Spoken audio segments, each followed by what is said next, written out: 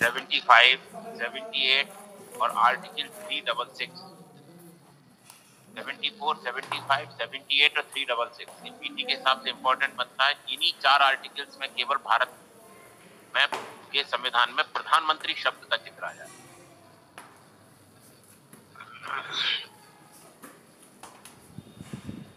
तो 74 और ये हम अच्छे से डिस्कस करेंगे। मेरे ख्याल से आप लोगों में से जो रेगुलर क्लास करने वाले हैं, वो भारत के राष्ट्रपति, उपराष्ट्रपतियों के बारे में तो मेरे ख्याल से अच्छे से परिचित हो चुके होंगे। और उनके इलेक्शन से भी परिचित हो चुके होंगे। जिन्होंने रेगुलर क्लास करी और जिन्होंने बंक किया, उनका कोई इलाज दुनिया के किसी कोने पे किसी व्यक्ति में नहीं। अपने भाग्य का लेखन वो स्वयं अपने कर्मों से कर रहे हैं। दोष किसी को भी दें, कल को हो सकता है लोक सेवा को दोष देने लगे सेलेक्ट न होने पर। हो सकता है हमें दोष देने लगे। तो होता है, आदमी जब असफल हो जाता है तो बीस तरह से लोगों में दोष निकालता है। अपनी तरफ़ नहीं देखता। तो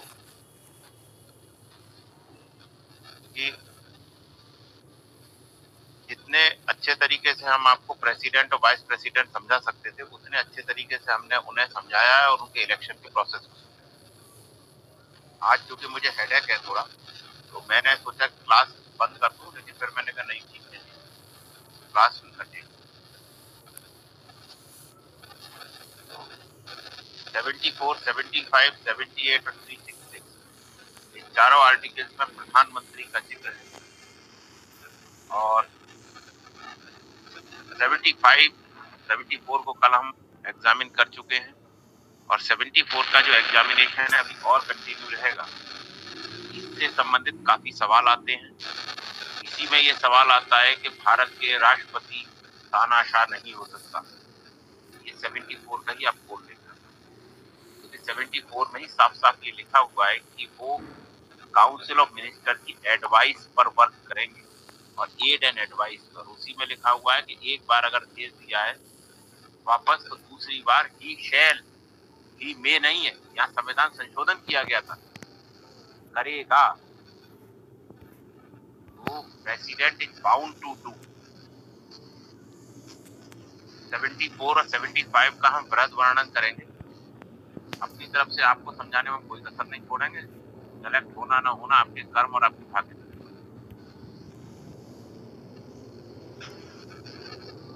अगला है। 75 prime minister shall be appointed by the president prime minister का अपॉइंटमेंट कौन करेगा? प्रेसिडेंट करेगा।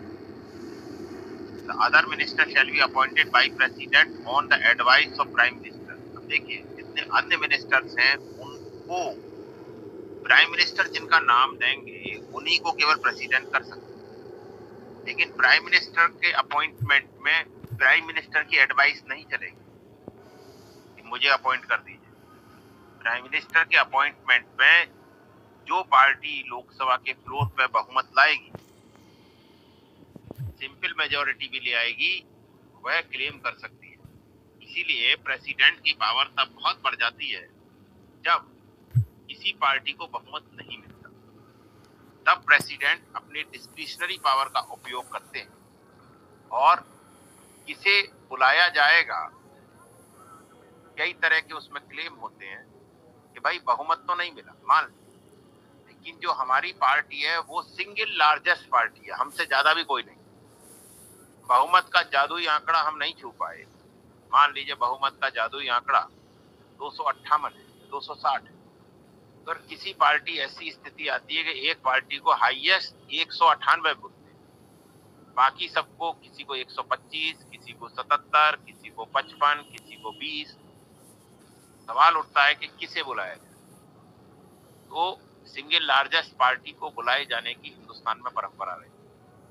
प्लस कई बार ऐसा होता है कि जब किसी पार्टी को बहुमत नहीं मिलता है तो कई सारी पार्टियाँ आपस में मिल करके एक कॉमन मिनिमम प्रोग्राम बनाती और कॉमन मिनिमम प्रोग्राम बना करके अपने कैंडिडेट को यह कहती हैं कि भाई, हम सब एक मंच पे आ गए हैं और हमारा समर्थन इनको है। अतः इनको बनाया जाए। दूसरी परंपरा ये भी रही। तीसरी ये रही है कि इलेक्शन होने से पहले ही बहुत सारे दल मिलके एक गठबंधन बनाते हैं, जिसे अलायंस कहा जाता है। और वो एक पार्टी विशेष नहीं लड़ती चुनाव, पूरा अलायंस चुनाव लड़ता है। सीटों का बंटवारा आपस में करता है। उनके बीच में एक एक एक लेवल ऑफ़ अंडरस्टैंडिंग होती है। कि इन मुद्दों पर हमारी पूरी सहमति होगी। तो वहाँ वो अपने वोट जिस दल को भी टिकट अलॉट होती है, जिस कंस्टिट्युएंसी में। मान लीजिए तीन दल मिलकर एक साथ लड़ रहे हैं और एक दल के 80 लोकसभा की सीटें हैं, जिनमें से 70 पर एक लाख दल को मिली है, आठ एक दल को मिली है और दो एक दल को मिली तो जहाँ आठ दल वाला सत्तर वाला होगा, वहाँ तो वो बाकी बचे दो लोग से अपने समर्थन करेंगे। और जहाँ आठ वाला होगा, वहाँ वो सत्तर वाला उन आठ को समर्थन करेगा और दो वाला करेगा। ऐसे ही जहाँ दो मिलिए किसी एक पार्टी को, छोटी राजनीतिक पार्टी को तो वहाँ सत्तर प्लस आठ वाले करेंगे कि हमारा वोट भी इन्हीं को जाए। तो ये प्री पोल अलायंस कहा जाता है। प्री पोल मतलब पोल होने से पहले का अलायंस यानी कि जनता की इस पर मोहर। है जनता इससे सहमत। एक होता है पोस्ट पोल अलायंस ऐसा भी पाया जाता है प्राय, आपने देखा होगा राजनीति में कि ऐसे भी है कि जो, हो सकता है कि परस्पर एक दूसरे के विरोध में चुनाव लड़े और उसके बाद जब कोई पार्टी बहुमत नहीं पाती है तो दोनों दल आपस में समझौता करके एक मिनिमम प्रोग्राम तय करते हैं, जिसे कॉमन मिनिमम प्रोग्राम कहा जाता है कि भाई, इन मुद्दों पे तो हम सहमत हैं, बाकियों पे तो हमारी असहमति अब भी बनी हुई है। कुछ मुद्दों पे हम सहमत हैं जिन पे हम सरकार चलाए कुछ इनके ले लिए, कुछ इनके। वो कहा जाता है पोस्ट पोल देश में प्रधानमंत्री के चयन में इन तीनों, भाई, जो चारों का मिलता है, अगर किसी को सिंपल मेजोरिटी मिल गई, ऐसा भी आया है देश के प्रधानमंत्री के कार्यकाल में कि सिंपल मेजोरिटी मिली है। ऐसा भी आया है कि टू थर्ड मेजोरिटी मिली है और ऐसा भी आया है कि थ्री फोर्थ मेजोरिटी मिली है। ऐसा भी आया है कि किसी भी पार्टी को कोई मेजोरिटी मिली ही नहीं। ऐसी स्थिति में जब मेजोरिटी आ गई, तब तो बात ही खत्म है। प्रेसिडेंट को जो लोकसभा में सबसे मेजर पार्टी होगी, उसी को बुलाना होगा जिसकी मेजोरिटी है, जो कि लोकसभा में अपने बहुमत को सिद्ध कर सके। लेकिन जहाँ ऐसी स्थिति आती है कि ना सिंपल मेजोरिटी है, ना टू थर्ड है, ना थ्री फोर्थ है तो ऐसी स्थिति में प्रेसिडेंट प्राय तत्कालिक परिस्थितियों और परंपराओं का अनुगमन करती है, क्योंकि संविधान यहाँ मौन है। संविधान में ये नहीं लिखा हुआ है कि किसे बुलाना है। Who shall be appointed the prime minister ऐसी स्थिति में कई बार आपको मैं बताऊँगा, आपकी जब जो संविधान की यात्रा चलेगी तो मैं आपको बताऊँगा कि यहाँ पर राष्ट्रपति के द्वारा सिंगल लार्जेस्ट पार्टी जो थी, जो सबसे बड़ी पार्टी थी, उसके नेता को बुलाया गया। यहाँ पर फ्री पोल अलायंस को बुलाया गया। इन्होंने चुनाव लड़ा था इन मुद्दों पे, इनको बुलाया गया। उन सब मिला करके बहुमत आ रहा था। और कहीं पर पोस्ट पोल अलायंस को भी बुलाया। और जब किसी को भी नहीं बुलाए जाने की स्थिति होती और सरकार बनाने की स्थिति नहीं होती, तब उन्हें आम चुनाव कराए जाते हैं। ऐसी भी, ऐसा भी आया है। आज़ादी के पिछले पिछहत्तर सालों में ऐसा भी मौका है। ये प्राइम मिनिस्टर और प्रेसिडेंट की जो रिलेशनशिप है, ये बहुत लंबी रही है। इनमें बहुत सारे जो है वो परंपराएँ रही हैं, बहुत सारे इसमें जिसे कहना चाहिए कि संबंधों की एक लंबी परंपरा और कड़ी रही जो एक सिविल सर्वेंट को मालूम होना चाहिए। It is deem to be कि आपको ये चीज़ मालूम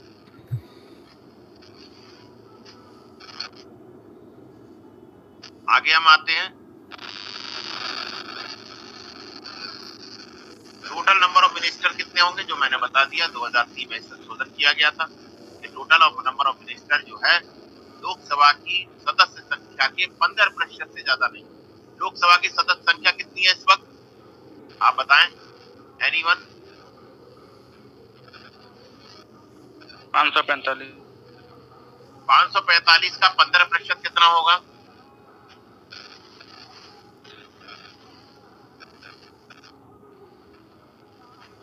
दस प्रतिशत हो गया फिफ्टी फोर और पाँच प्रतिशत हो गया twenty twenty two twenty seven fifty four और ट्वेंटी सेवन कितना हुआ? फिफ्टी वन हो गया सर इससे ज़्यादा संख्या नहीं होगी सारे मंत्री गणों की। ये लिमिटेशन फिक्स कर दी है ये सीलिंग लिमिट है। और संविधान में संशोधन करके इस आर्टिकल में यह संशोधन कर दिया दूसरा इसका क्लॉज वन जोड़ा गया था, और वन बी भी जोड़ा गया था। इसमें यह था कि अगर भाई किसी पॉलिटिकल पार्टी के जो, क्या नाम है मेंबर है, उन्हें डिस्कालीफाई कर दिया जाता है। कि भाई उनका निर्वाचन जो है, सही नहीं था डिस्कालीफाई कर दिया जाता है। तो वो सीधा सीधा है कि वो मंत्री भी नहीं रहेंगे, तब तक नहीं रहेंगे, जब तक कि वो पुनः निर्वाचित नहीं हो जाते, या वो कोई सेटल नहीं हो जाता। विच एवर इज़ अर्लियर मंत्री पद भी उन्हें छोड़ना।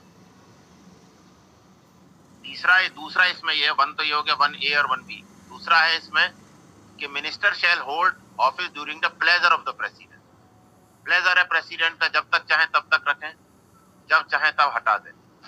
लेकिन हटाना प्रेसिडेंट के हाथ में सीधे नहीं है, क्योंकि इससे पूर्वगामी आर्टिकल में साफ़ साफ़ लिख दिया गया है कि president shall act as according to the advice of the prime minister इससे पिछले आर्टिकल में साफ़ साफ़ लिखा दिया गया है कि काउंसिल ऑफ़ मिनिस्टर होगी, जिसके हेड होंगे प्राइम मिनिस्टर उनके एडवाइस पर काम करेंगे। अगर किसी मिनिस्टर को इंडिविजुअल को हटाना है prime minister has to give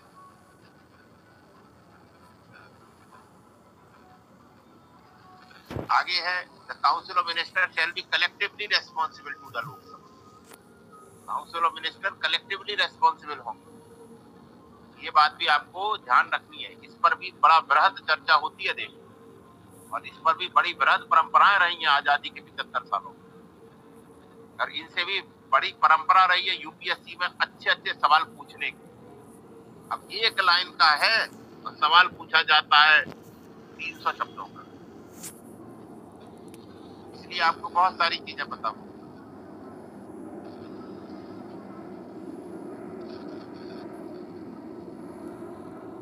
collective responsibility है। सभी की ज़िम्मेदारी है।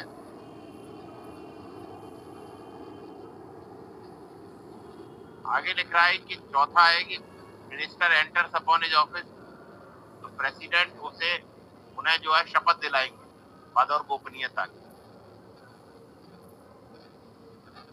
इसी में पांचवा है कि भैया छह महीने के भीतर आपको एमपी बनना होगा। बिना एमपी बने भी आप मिनिस्टर बन सकते हैं, कोई बात नहीं। इवन प्राइम मिनिस्टर बन सकते हैं, लेकिन विद इन सिक्स मंथ आपको एमपी बनना पड़ेगा। अगला है कि भाई सैलरी आपकी क्या होगी अलाउंसेस क्या होंगे? As time to time parliament जैसा decide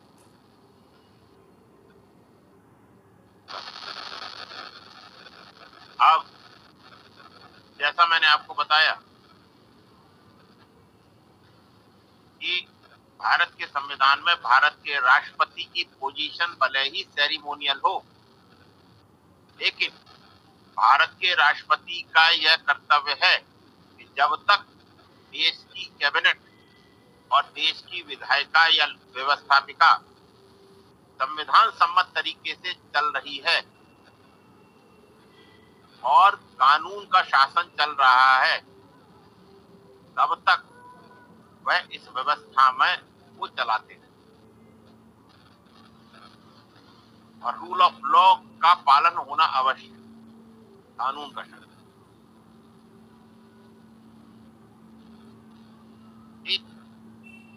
prime minister head of the government होते हैं और राष्ट्रपति हेड ऑफ़ द नेशन मैंने पहले ही बता दिया था। प्रेसिडेंट की जो ड्यूटी है वो क्या है? Preserve protect and defend the constitution constitution का कहीं वायलेशन ना हो, ये प्रेसिडेंट की ड्यूटी है। Preserve protect and defend the constitution ये भी प्रेसिडेंट का काम है।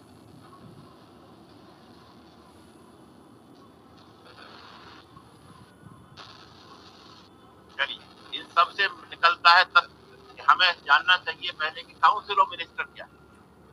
हमें जानना चाहिए कि प्राइम मिनिस्टर को कैसे डिफाइन किया जाए? हमें जानना चाहिए कि प्रेसिडेंट की पावर क्या है। कलेक्टिव रेस्पॉन्सिबिलिटी किसे कहते हैं? इसकी हिंदी कर देने से काम थोड़ी चलेगा? एग्ज़ाम में साहब, इसका मतलब होता है सामूहिक ज़िम्मेदारी। अब मैं चाहूँगा कि आप में से जितने यहाँ विद्वजन बैठे वह अपनी स्वेच्छा से इन चार पाँच शब्दों का पर कुछ प्रकाश डालें।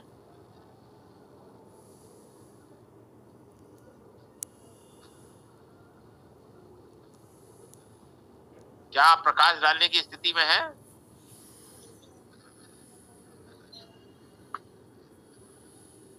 जी सर। जी सर। जी जी बोलिए। सर कलेक्टिव रिस्पॉन्सिबिलिटी का मतलब हो गया सर कोई अविश्वास प्रस्ताव सर अगर पारित हो जाता है एक सदस्य के विरुद्ध तो सर वो उस दशा पूरी मंत्री पद- परिषद को त्याग पत्र देना पड़ेगा।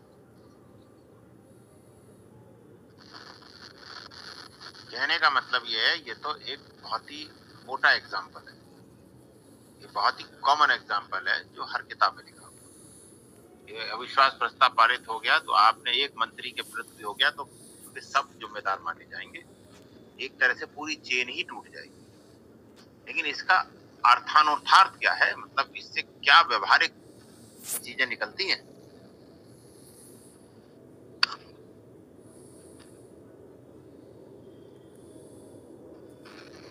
अब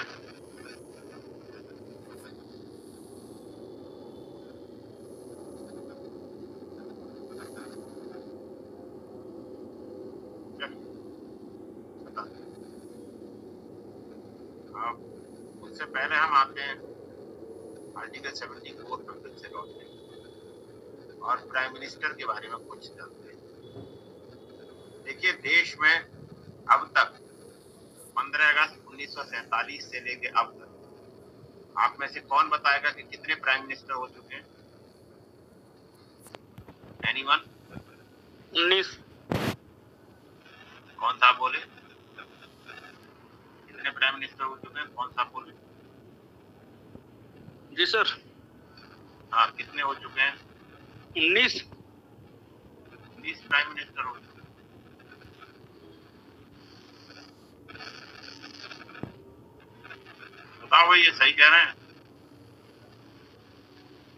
जी सर।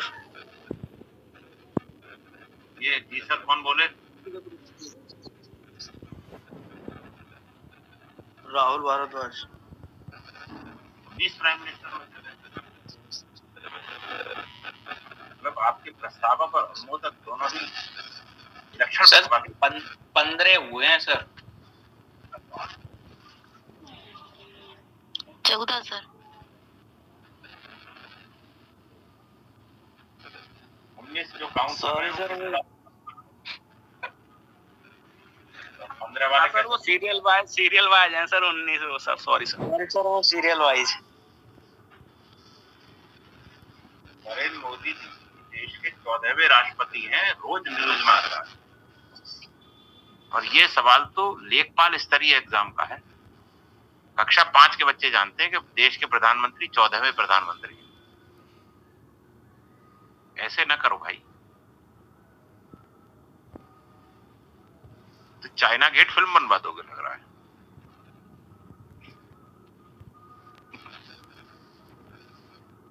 राहुल भारद्वाज जी आप किस हिसाब से उसका समर्थन कर रहे थे आँख मूंद करके?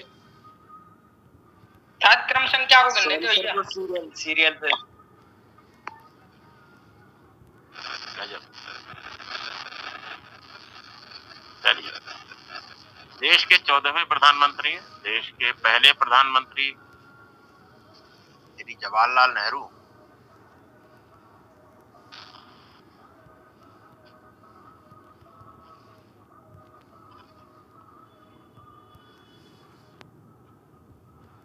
दूसरे लाल बहादुर शास्त्री, तीसरे इंदिरा गांधी, चौथे राजीव गांधी, पांचवे पीवी नरसिंह राव और छठे मनमोहन सिंह। ये सभी छह प्रधानमंत्री देश में इंडियन नेशनल कांग्रेस से आए जिसे कांग्रेस पार्टी कहते हैं। दो प्रधानमंत्री देश में भारतीय जनता पार्टी से क्लियर? तीन प्रधानमंत्री जनता दल से हैं। और बाकी एक प्रधानमंत्री जनता पार्टी से थे। और दो प्रधानमंत्री ऐसे रहे जो सदन में अपना बहुमत सिद्ध नहीं कर सके, श्री चरण सिंह और श्री चंद्र सिंह उनकी पार्टी तो मुझे नहीं याद है, लेकिन इतना ज़रूर याद है कि जनता करके ही था, कोई समाजवादी था, कुछ एक जनता कर, पार्टी करके। तो देश में अब तक का सबसे लंबा कार्यकाल पंडित नेहरू का रहा है। वो लगभग मेरे ख्याल से सोलह से लेकर सत्रह साल सत्रह साल। सत्रह साल देश के प्रधानमंत्री रहे। पंद्रह अगस्त उन्नीस से सत्ताईस मई उन्नीस यानी कि आप तेरह साल उधर जोड़ लीजिए, तेरह और तीन सोलह तो यही हो गए। अड़तालीस, उनचास, पचास और तेरह इधर, इक्यावन से लेकर तिरसठ तक। तेरह और तीन, सोलह और उधर अगस्त से गिनिए अगस्त सितंबर अक्टूबर नवंबर दिसंबर साढ़े चार महीने और मई में भी साढ़े चार नौ महीने तो यही हो गए। सीधा सीधा हिसाब है। और लगभग मुझे लग रहा है कि दस महीना। दस महीने और पंडित नेहरू सोलह साल दस महीने के आसपास रहे होंगे। इस कैलकुलेशन को एग्ज़ाम में भी ऐसा ही करना, जैसे मैं बहुत आसानी से कर रहा हूँ। तो आपको दो के पहाड़ की तरह कंटेस्ट होनी चाहिए, ये कोई नॉलेज नहीं है। ये तो माना जाता है कि भारत के नागरिक रूप में आपको पता होगा ये इसके लिए कोई यूपीएससी प्रिपरेशन की ज़रूरत है। कोचिंग गाइडेंस सेंटर की ज़रूरत है इस काम के लिए भी क्या? अगर इस काम के लिए भी ज़रूरत है तो आपको पुनर्विचार करना पड़ेगा कि अपनी जो माध्यमिक और प्राथमिक शिक्षा हुई है उस पर बहुत मनन और गहन चिंतन की आवश्यकता है आपको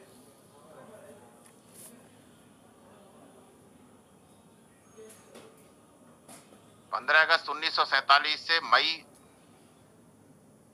उन्नीस सीधे सीधे सोलह साल तो यही बैठ रहे हैं। दस महीने और जान लो। तो लगभग सत्रह साल पंडित नेहरू देश के प्रधानमंत्री रहे।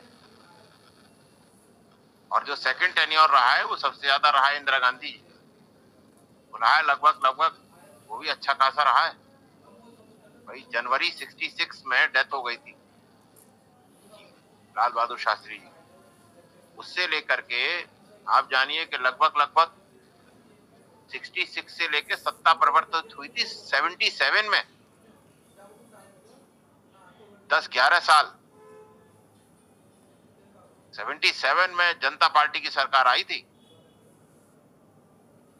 66 से ऑनवर्ड्स जितने इलेक्शन हुए उनमें सब में इंदिरा गांधी की कांग्रेस ही जीती थी।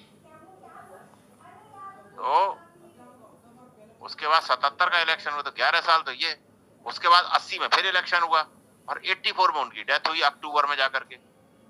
इक्यासी, बयासी, तिरासी, चौरासी। चार साल, ये लगभग पंद्रह साल रही होंगी देश की प्रधानमंत्री।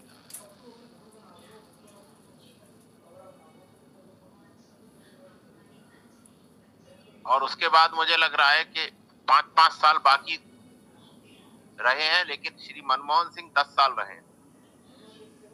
तो टेन्योर की जहाँ तक बात आती है, देश के प्रधानमंत्रियों में सबसे लंबा टेन्योर पंडित नेहरू, फिर मिसिस गांधी, और फिर उसके बाद श्री मनमोहन सिंह।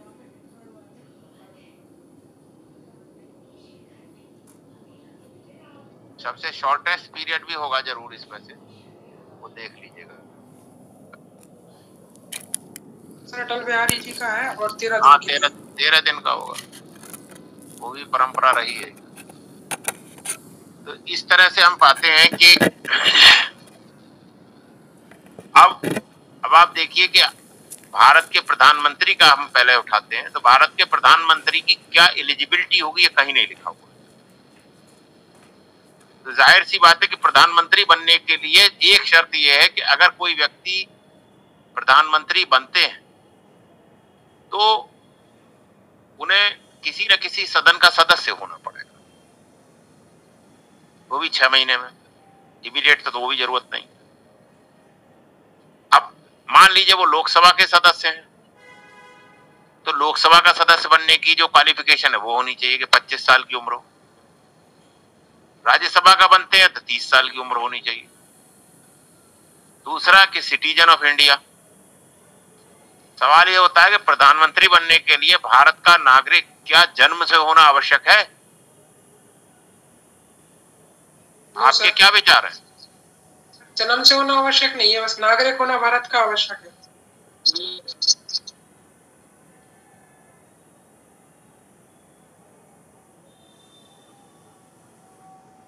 दूसरे प्रधानमंत्री की जो योग्यता है, वो ये है कि 25 वर्ष और 30 वर्ष। और तीसरी ये है कि भाई कोई लाभ का पद ना हो ऑफ़िस ऑफ़ द प्रॉफिट ना हो। यही तीन है।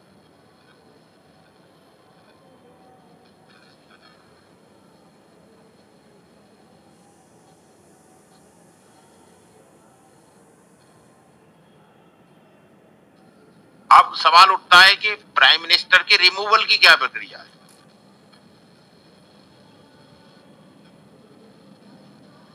रिमूवल की क्या प्रक्रिया है? कोई प्रक्रिया है? संविधान में वर्णित किसी महाभियोग की आवश्यकता है? संजीव परिहार जी, प्रकाश डालिए जरा। राहुल भारद्वाज जी, आप भी प्रकाश डालें, साथ में टॉर्च लेके सर मेजोरिटी जब तक रहेगी सर, जब तक तो सर पीएम रहेंगे, जैसे उनके पास अब मेजोरिटी नहीं हो पाती है तो सर वो प्रधानमंत्री पद से त्याग पत्र देना पड़ेगा, या फिर उनके पास कोई अविश्वास प्रस्ताव आए और वो पारित हो जाता है, तब भी उन्हें त्याग पत्र देना पड़ेगा।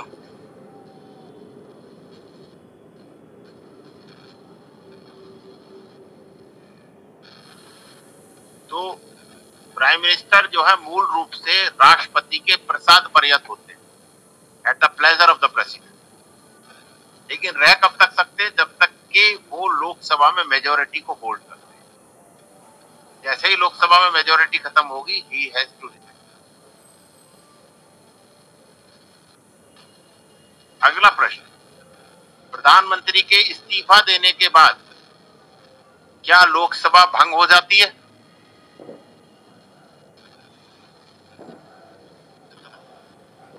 बताएँ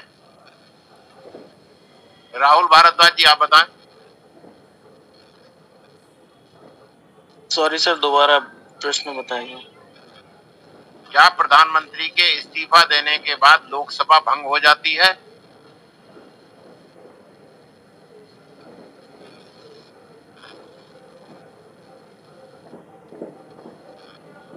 अन्य कोई व्यक्ति बताए। सर लोकसभा भंग नहीं होती मंत्रिमंडल भंग हो जाता है सर।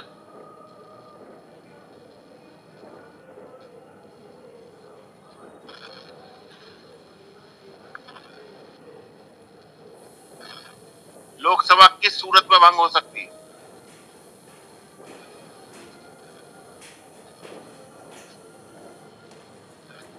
अविश्वास प्रस्ताव आने के बाद सर। राष्ट्रपति आने के बाद लोकसभा भंग और लोग बताएँ। और सर जब पाँच साल पूरे हो जाएँ तब? तो, तो इलेक्शन होना ही होना जान लीजिए कि प्रधानमंत्री के इस्तीफे के बाद यह आवश्यक नहीं है कि लोकसभा भंग हो।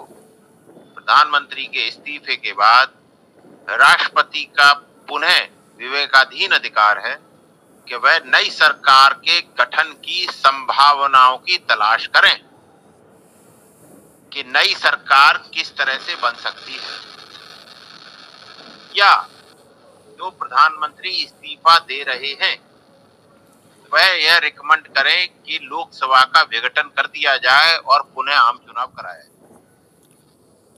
ऐसी स्थिति में क्या भारत के राष्ट्रपति उस राय को मानने के लिए बाध्य हैं?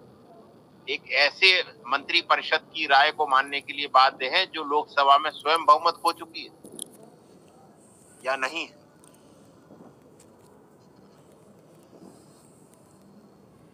इसी तरह के समस्त जटिल प्रश्नों का उत्तर शनै शनै आपको इसी अध्याय में मिलता है।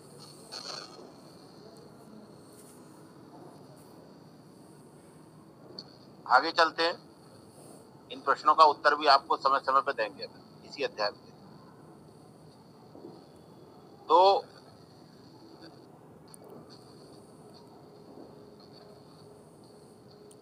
अभी तक भारत में, भारत के लगभग तीन प्रधानमंत्री ऐसे हुए हैं, जो कि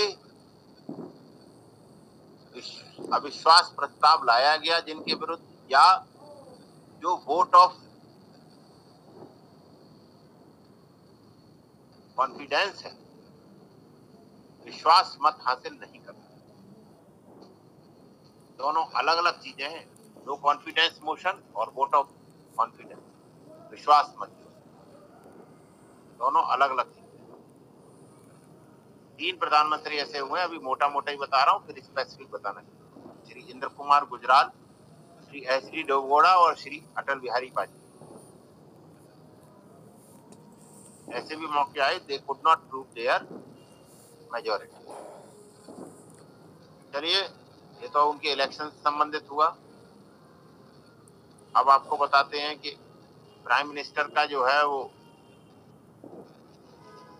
रोल क्या होता है पावर क्या होती है?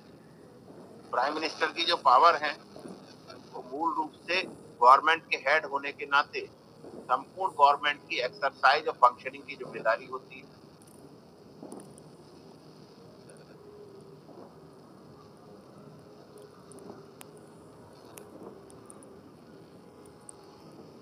और क्योंकि काउंसिल ऑफ़ मिनिस्टर उन्हीं की रिकमेंडेशन पे प्रेसिडेंट शपथ दिलाते हैं। उन सबको मिला के एक मंत्री परिषद बनती है।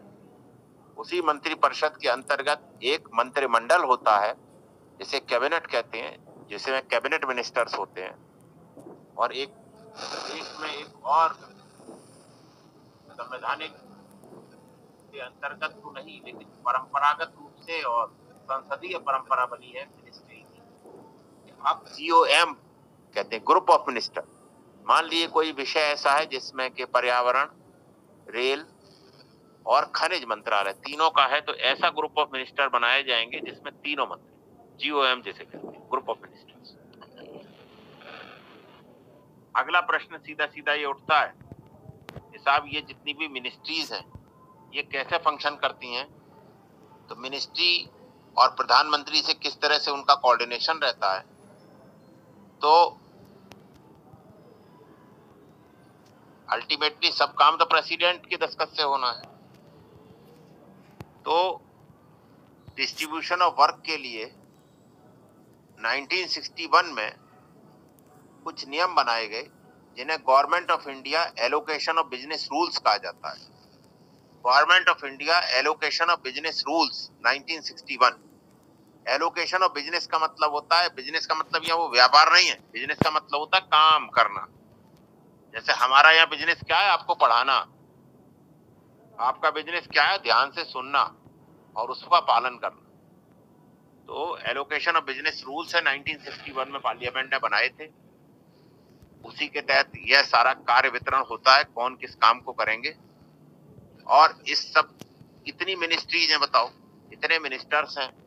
उन सब का कोऑर्डिनेशन कैसे होगा? उस कोऑर्डिनेशन को करने के लिए एक सचिवालय बनाया गया, जिसे कैबिनेट सेक्रेटरीट कहते हैं। केंद्रीय सचिवालय जिसको कहते हैं। सारी मिनिस्ट्रीज को कोऑर्डिनेट करने का काम कैबिनेट सेक्रेटरीट करता है। तो कैबिनेट सेक्रेटरीट एक बहुत महत्वपूर्ण चीज़ है। कैबिनेट सेक्रेटरीट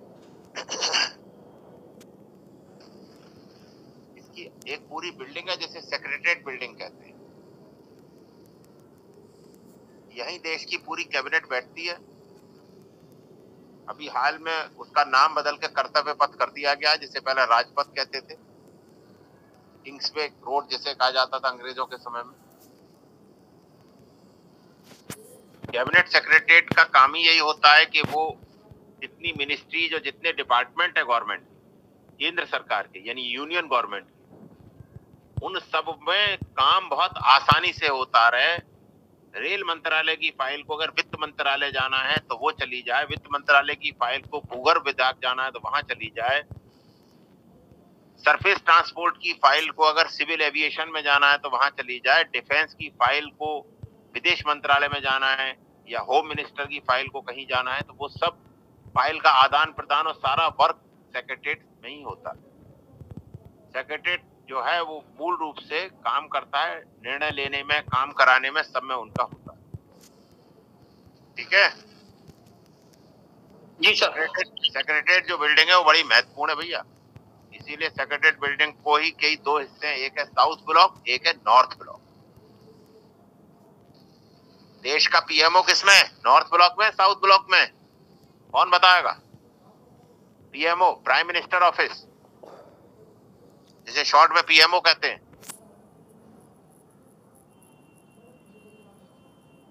कन्फर्म पता नहीं सर नॉर्थ ब्लॉक में होगा सर अरे पीएमओ पीएमओ हमेशा से साउथ ब्लॉक में रहा भैया। नॉर्थ ब्लॉक में तो गृह मंत्रालय जी सर जी सर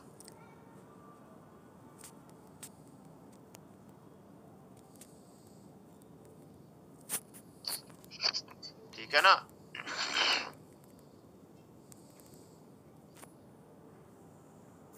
तो साउथ ब्लॉक और नॉर्थ ब्लॉक। और कैबिनेट सेक्रेटरीट जो है ना, बहुत महत्वपूर्ण जगह होती है। और वहाँ सबसे जो बड़े अधिकारी होते हैं, वो होते हैं सचिव। और कैबिनेट सेक्रेटरी जो होते हैं, वो देश के सीनियर मोस्ट आईएएस अफसर होते हैं। आईएएस अफसरों में नंबर वन माना जाता है। सर आवाज़ आवाज़ कैबिनेट सेक्रेटरी बनना किसी भी आईएएस के लिए सपना होता है। और कैबिनेट सेक्रेटरी को आप जान लीजिए, एक वारंट ऑफ़ प्रेसिडेंस है। वारंट ऑफ़ प्रेसिडेंस किसे कहते हैं?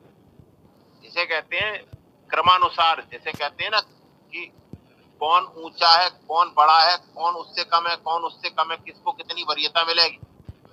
देश में नंबर वन पे है राष्ट्रपति, फिर उपराष्ट्रपति, फिर देश के प्रधानमंत्री। तो कैबिनेट सेक्रेटरी जो है, वो ग्यारहवें नंबर पे आते हैं। इलेवेंथ।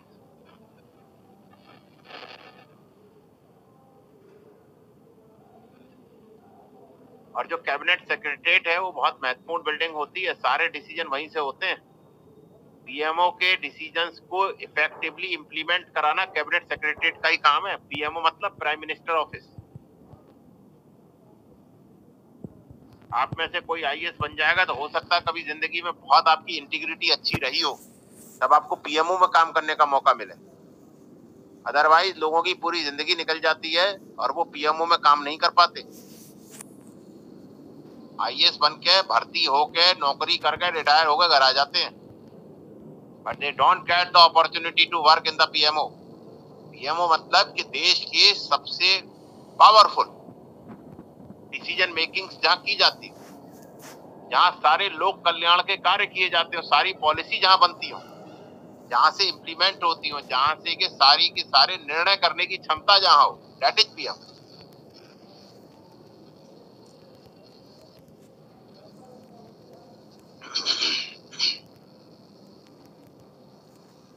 तो कैबिनेट सेक्रेटरी सीधे सीधे प्राइम मिनिस्टर के अधीन काम करते हैं।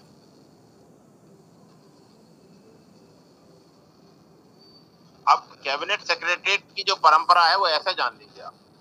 आपने, मैंने जब आपको हिस्ट्री पढ़ाई थी तो आपको बताया था कि गवर्नर जनरल इन काउंसिल शब्द आया था। तो जो काउंसिल है गवर्नर जनरल की, वो यही सेक्रेटरीट ही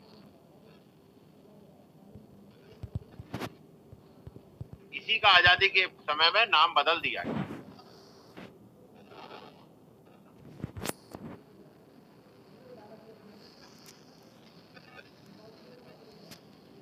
इससे पहले governor general in council basically यही था।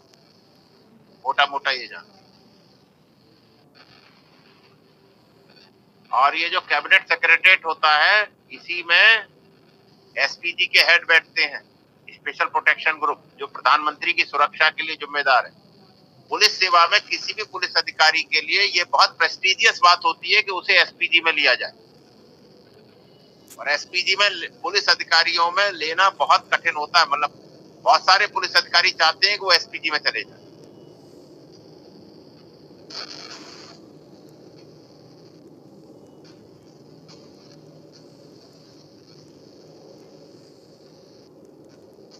और रॉ के जो हेड है रिसर्च एंड एनालिसिस बैंक के, आपको शायद पता है या नहीं पता है रॉ जो है एक फॉरेन इंटेलिजेंस एजेंसी है इंडिया की। रिसर्च एंड एनालिसिस बैंक रॉ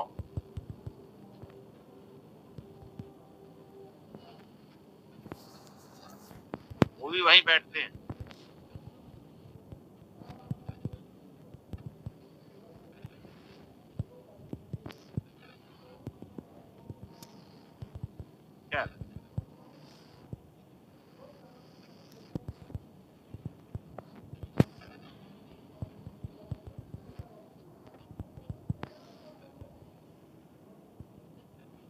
के जो प्रधानमंत्री हैं,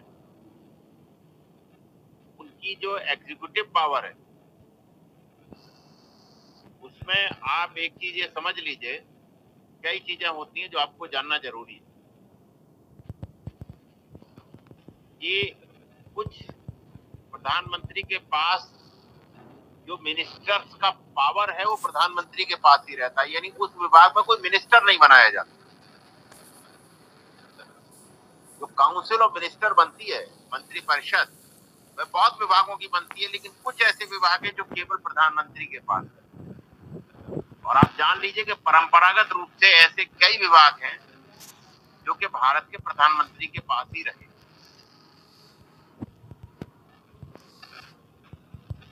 कई सारे ऐसे विभाग हैं जो किसी अन्य को राय नहीं अलॉट किए। से तीन विभाग तो ऑलमोस्ट मैंने देखा है कि एटॉमिक एनर्जी का, परमाणु ऊर्जा का, अंतरिक्ष का विभाग स्पेस एजेंसी का। इसलिए आपने देखा था जो मिशन मंगल गया था, उसमें प्राइम मिनिस्टर खुद गए थे इसरो क्योंकि प्राइम मिनिस्टर ही उसके मिनिस्टर होते हैं। और न्यूक्लियर अथॉरिटी का, नाभिकीय जो अथॉरिटी है न्यूक्लियर अथॉरिटी उसका हेड जो है वो प्राइम मिनिस्टर वो किसी मंत्री को नहीं दिया जाता वो स्पेस न्यूक्लियर ये विभाग किसी को नहीं दिया जाता। और एटॉमिक एनर्जी ये प्राइम मिनिस्टर के लिए ही प्राय रहते हैं। और आपको पता होगा प्लानिंग कमीशन के चेयरमैन भी प्राइम मिनिस्टर ही होते हैं, जिसे अब नीति आयोग कहते हैं। और प्राय जो पर्सनल मिनिस्ट्री होती है ना पर्सनल का मतलब कार्मिक मंत्रालय। कौन अधिकारी कहाँ सर्व करेगा, कहाँ नहीं करेगा, किस विभाग में कौन अधिकारी रहेगा, नहीं रहेगा, ये पर्सनल मिनिस्ट्री तय करती है। भर्ती के बाद यूपीएससी आपकी फ़ाइल कहाँ भेजती है? डीओपीटी को। कहा भेजती है? कार्मिक मंत्रालय। चयन होने के बाद।